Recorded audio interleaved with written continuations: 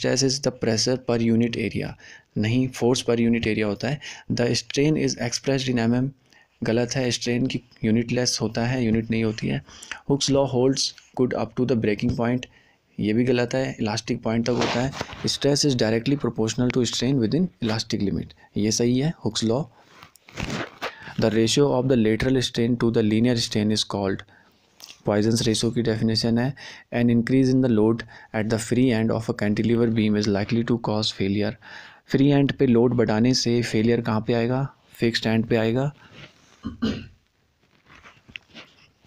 the deformation of the bar per unit length is the direction of the force is known as linear strain when a bar is subjected to a push of P it's देखिए पुस है तो यहाँ पे हम धकेल रहे हैं उसको टेंसाइल लोड लग रहा है उस पर तो लेंथ तो उसकी कम हो जाएगी बार की, और विर्थ और थिकनेस बढ़ जाएगी। सो ऑप्शन डी यहाँ पर सही हो जाएगा। Length decreases with and thickness increases when a body is subject to three mutually perpendicular stresses of equal intensity the ratio of direct stress to the corresponding volume metric strain is known as bulk modulus होता है direct stress by volumetric strain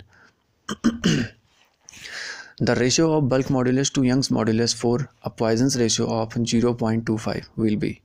So, देखिए, यहाँ पे तीन चीज़ों की बात कर रखी है bulk modulus Young modulus and Poisson's ratio इनका रिलेशन अभी हमने ज़िक्र किया था एक सवाल में ई e बराबर थ्री के one minus two mu so mu की वैल्यू यहाँ पे दे रखी है पॉइंट फाइव वैल्यू पुट करके ई e मिल जाएगा आपको वन पॉइंट फाइव के और क्योंकि हमें के और ई e का रेशियो देखना है तो के बाई ई हो जाएगा one by one point five और इसी को कह सकते हैं two by three so option B यहाँ पर सही हो जाएगा। The Young's modulus of a material is 125 gigapascal and Poisson's ratio is 0.25 so, modulus of rigidity बतानी है।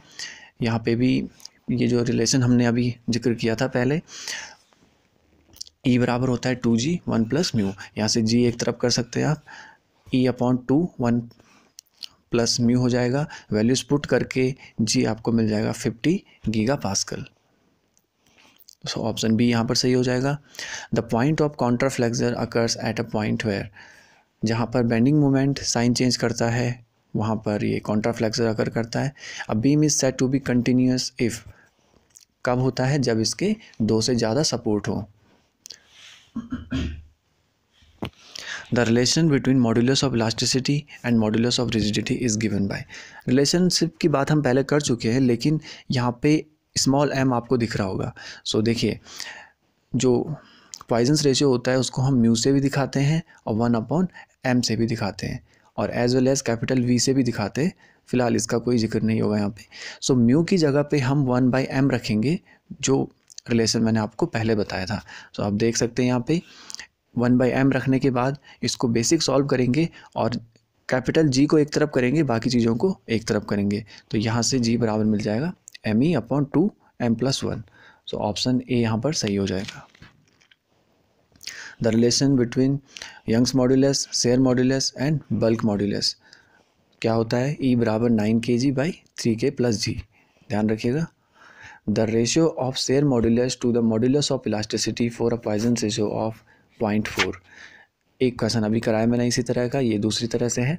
यहाँ पे पॉइजन रेशियो पॉइंट फोर दे रखा है, उसकी वैल्यू पुट करेंगे, उसके बाद ई e बराबर मिल जाएगा two point eight into G और क्योंकि हमें जी अपॉन ई चाहिए तो वो हो जाएगा one upon two point eight इसी को हम टेन बाई ट्वेंटी एट भी कर सकते हैं, और इसी को five by fourteen so shear force in a cantilever beam loaded at free end is maximum at कोई कैंटिलीवर बीम है जिस पे फ्री एंड पे लोड है तो ये आप डायग्राम देख सकते हैं यहाँ पे। फ्री एंड पे लोड होने के बाद जो शेयर फोर्स डायग्राम है वो कुछ इस तरह से बनता है। आपको यहाँ पे दिख रहा होगा। सो so, इसमें कहीं पे भी मैक्सिमम मिनिमम का केस नहीं है। पूरी लेंथ पे एक जैसा है। सो so, इसलिए यहाँ पे ऑप्शन सी सही हो जाएगा। Throughout its length which of the following statement is wrong the deformation of the bar per unit length in direction of the force is called linear strain ये भी सही है। The Poisson's ratio is the ratio of lateral strain to the linear strain अभी बात करी थी, ये भी सही है। The ratio of change in volume to the original volume is called volumetric strain ये भी सही है। The bulk modulus is the ratio of linear stress to the linear strain ये गलत है। लीनियर स्ट्रेन नहीं होता है वॉल्यूमेट्रिक स्ट्रेन होता है। A body is subjected to a direct tensile stress in one plane. The shear stress is maximum at the section inclined at dash to the normal of the section so angle बताने basically 45 से लेके 135 तक। इस बीच में जो angle होता है, वहाँ पे मैक्सिमम शेयर स्ट्रेस मिलता है। तो ऑप्शन बी यहाँ पर सही होगा। The energy stored in a body when strain within elastic limit is known as strain energy the total strain energy stored in a body is termed as resilience बोलते हैं इसे। The strain energy stored in a spring when subjected to maximum load without suffering permanent distortion is known as maximum की बात कर रहा है proof resilience हो जाता है इस केस में। और लास्ट क्वेश्चन है which of the following statement is correct the energy stored in a body when strain within elastic limit is known as strain energy अभी बात करी थी, सही है। The maximum strain energy which can be stored in a body is termed as proof resilience just previous question में बात करी। The proof resilience per unit volume of a material is known as modulus of resilience ये modulus of resilience की definition है, ये भी सही है। तो इसलिए यहाँ पे ऑप्शन डी सही हो जाएगा। अब आप बाकी दोस्तों की तरह कमेंट कर।